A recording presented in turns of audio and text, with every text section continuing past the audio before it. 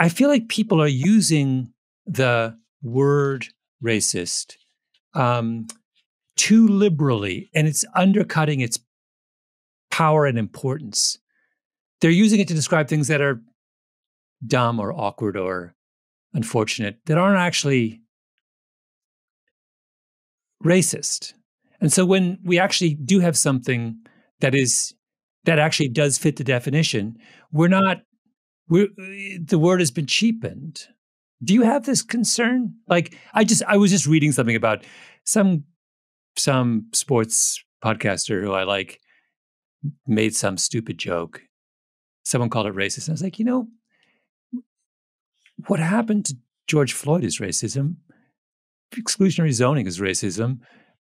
Segregation is racism. That was a stupid joke. Like, is it is it a mistake to use the same word to describe two things that have dramatically different impacts on the world, intentions, origins, history?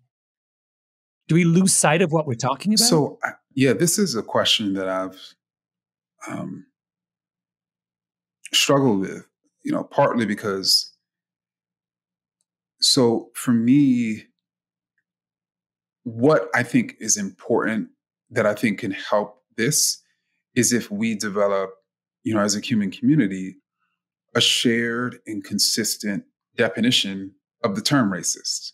So what what we currently have mm-hmm. is so many different definitions, many of which are just, you know, don't align.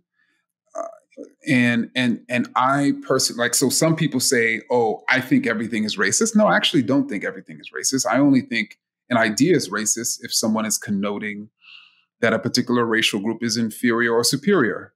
I only think a policy is racist if it's sort of leading to or growing a racial inequity or injustice. And so if, if we were to d- develop, and that's why even how to be an anti-racist, I wanted to anchor every chapter on definitions because I, I just think us having mm-hmm. common definitions would allow us to only use the term when it's applicable. And I certainly do think cer- the term is used when it's not ac- applicable, but I also think it's not used when it is applicable.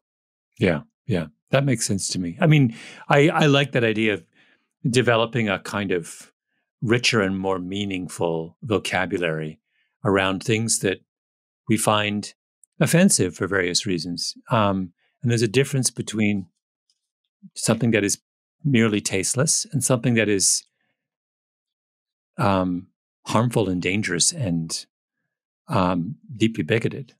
Racism is almost like cancer, and I always go back to that analogy, particularly as someone who's who's battled cancer in which, you know, cancer is widespread. There is multiple stages of cancer. So there's, you know, stage one, stage two, stage three, stage four. And there's this understanding that stage four is lethal. It's dangerous. It can kill you.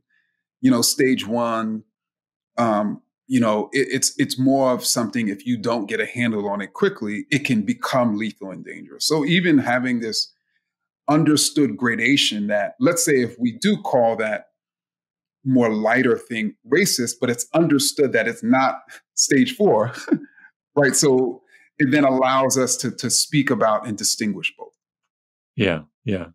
Well, all of this suggests to me, Ibram, that this show you're doing is going to be both fascinating and also really useful um, in the world that we're living in right now. And I, so I want to formally, once again, welcome you to the Pushkin family. I am delighted you're doing this. And um, uh, I'm looking forward to the many great conversations you'll have on the show.